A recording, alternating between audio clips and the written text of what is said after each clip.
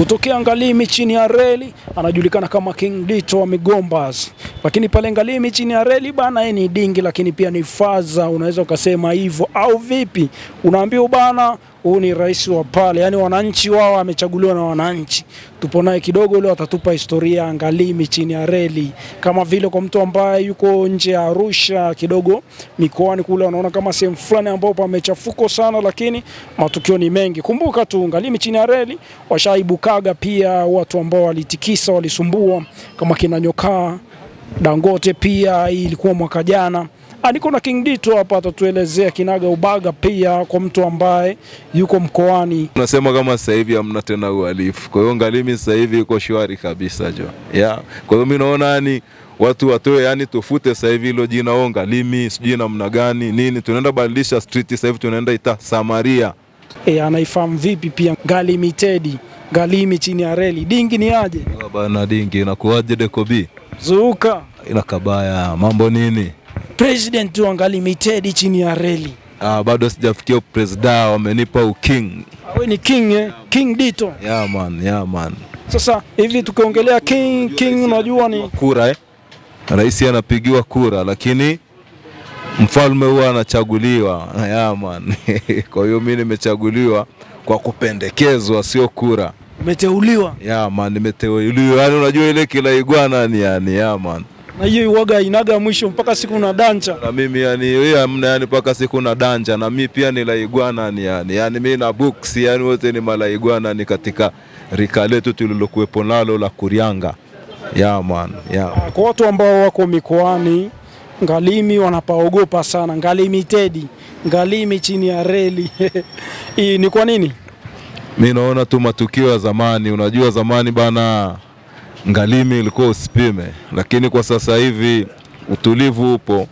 Waliopita ndo wameweka hiyo historia ya kutisha, na ilikuwa kweli inatisha, ilikuwa ina masiara, lakini ukijaribu kucheki sasa hivi angalau kuna utulivu. Kwanza kanisa za kutosha zimefunguliwa, yani mapambio eh, yani watu wanaingia ibada kama kawaida, sio msikitini, sio kanisani, kiasi kwamba na maombezi nini, mambo yameendelea kubadilika. Kwa hiyo sasa hivi Ngalimi pametulia. Sasa hivi tunataka hata tupabadilishe jina, tupaite Samaria Street, yani hilo jina la Ngalimi naona kama tunaenda kulifuta. Sasa ndo nataka nilipendekeze, yani nilipeleke eh, kwa watu wangu ambao pia wamenipa uking. Je, tubadilishe au tuache hivyo hivyo ili turudi kuwa na sifa nzuri, hata wageni wasiogope kufika. Lakini sasa hivi utulivu ni mkubwa na kila kitu kinaenda sawa. Nadhani hata wewe umeshafika, umeshatembelea, umerudi. Kama ulikuwa unao hela yako mfukoni, simu, naamini umerudi salama salimini. Matukio kama haya kina Nyokaa kidogo Dangote, kwa hiyo Ngalimi chini ya reli hamna tena.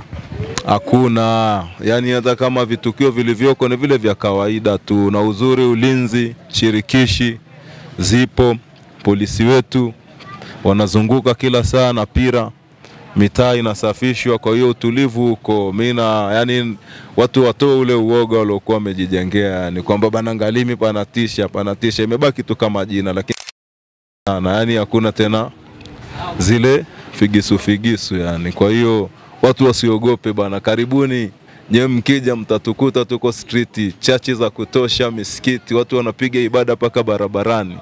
Yeah, man. Ah, tukimwongelea chaliwa Ngalelo, Ngalimitedi ni chaliwa aina gani, labda kama mtu wa afahamu?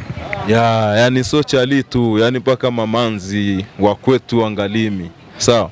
Yani machaliwa Ngalimi ni wale ambao tayari tofauti na mziki, yani kama hip hop. Yani Ngalimi watu ni hip hop, watu ni rege. Hawezi sikiliza yani hizi hizi mambo mambo zinazonani, yani hata mavazi sisi, hawezi mkuta mtu Ngalimi amenyoa kiduku, huwezi mkuta mtu Ngalimi amefunga mlegezo, huwezi mkuta mtu Ngalimi ametoboa sikio, huwezi mkuta mtu Ngalimi amebleach, umeona? Wala uwezi yani ukakuta upuuzi. Hadi wamaza yenyewe ni wakaksi, hawana. Yani, unaambiwa kama ukijaribu hata kucheki wamaza wote wa sokoni. Tukimwongelea chaliwa Ngalelo, ngalimitedi ni ni chaliwa aina gani, labda kama mtu wa afahamu? ya yani sio chali tu, yani mpaka mamanzi wa kwetu wa Ngalimi, sawa.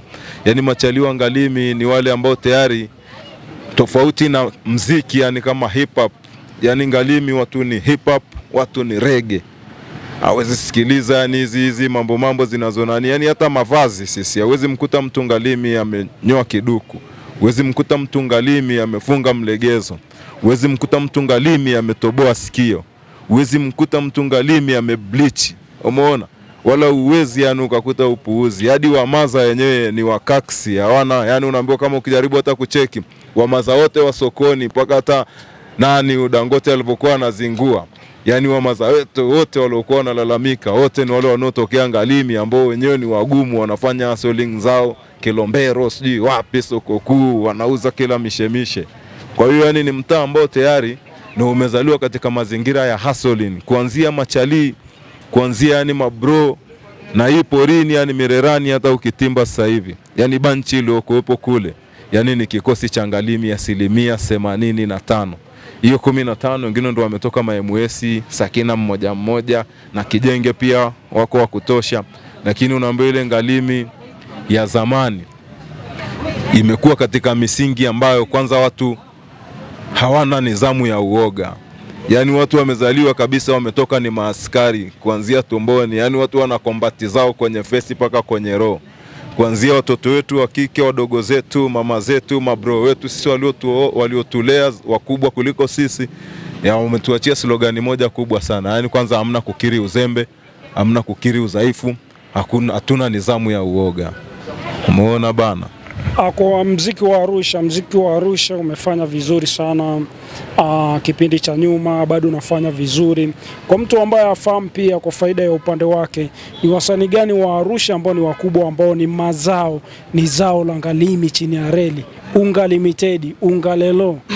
ya yani kule ma MC ni wengi. Kwa mfano nadhani unamjua Mo Plus, sawa, una unamjua Chaba, si ndio bana? Unamjua mtu Blaki, sawa. Tuna maproducer pia, kuna KZ kina Chajo P, ni machali wetu wadogo wadogo, sawa bana. Lakini malegend ambao tayari wa mziki wa hip hop ambao hata sasa hivi tukitaka si tufanye concert yetu pale Ngalimi, yani lazima.